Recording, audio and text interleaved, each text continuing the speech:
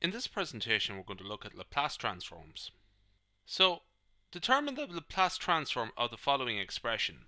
Function of t, f of t equals cos 3t minus sine 3t. Here's a table of Laplace transforms we're going to use, or more to the point, an extract from it. We I've edited it down so we have the entries that we're going to use for this example, but in a proper Laplace transform table there would be much more. So let's look at the entry for cos 3t. The appropriate entry in the tables is cos of at, so we're going to let a equal to 3. So the Laplace transform of cos 3t equals s over s squared plus 9, which is 3 squared.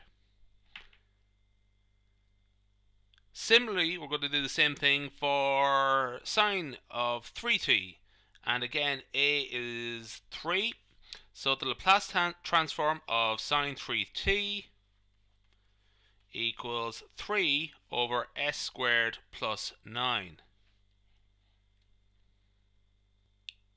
so let's put this all together.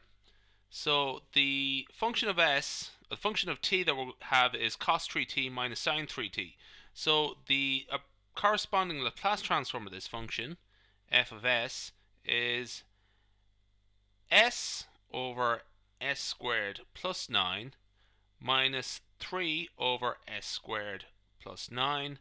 We would write that as s minus 3 over s squared plus 9. Now, just an important point to make. I'm going to make this, change my pen to green. We have a quadratic term here in the denominator. So this is quadratic. And when we have quadratic terms in the denominator, we look to factorize them. So in this particular case, no, not this time. The reason is we will get um, s squared equals minus 9. So we're getting into complex values there. So not this time. But in general, it's something to look out for.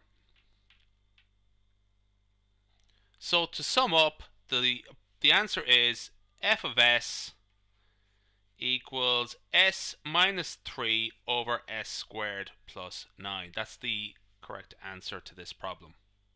And that ends the presentation.